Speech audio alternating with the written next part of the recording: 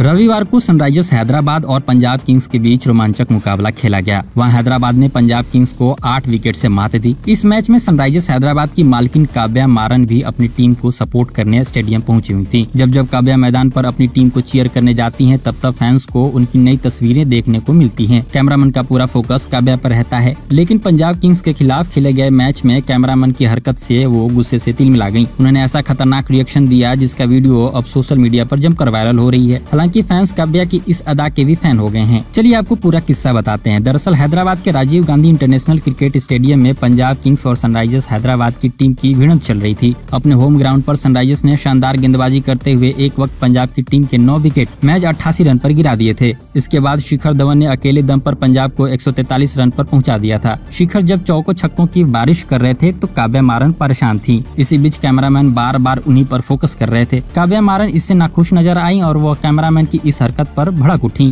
काव्या मारन का यह गुस्से वाला रूप अब सोशल मीडिया पर वायरल हो रहा है। इसके अलावा मैच की बात करें तो हैदराबाद ने टॉस जीतकर पहले गेंदबाजी करने का फैसला किया था। ऐसे में पंजाब किंग्स ने पहले बल्लेबाजी करते हुए निर्धारित 20 ओवर में नौ विकेट के नुकसान पर 143 रन बनाए। पंजाब के लिए सबसे ज़्यादा निन्यानवे रन कप्तान शिखर धवन ने बनाए वो अंत तक नाबाद भी रहे। एक सौ चौवालीस रन के लक्ष्य का पीछा करने उतरी सनराइजर्स ने आठ विकेट और सत्रह गेंद शेष रहते टारगेट को चेज कर लिया। राहुल त्रिपाठी ने टीम के लिए अड़तालीस गेंद आरोप चौहत्तर रन की अहम पारी खेली। इस तरह की खबरों के लिए आप इस चैनल को सब्सक्राइब कर सकते हैं। साउथ ब्लॉक डिजिटल ऐसी रंजन गुप्ता की रिपोर्ट।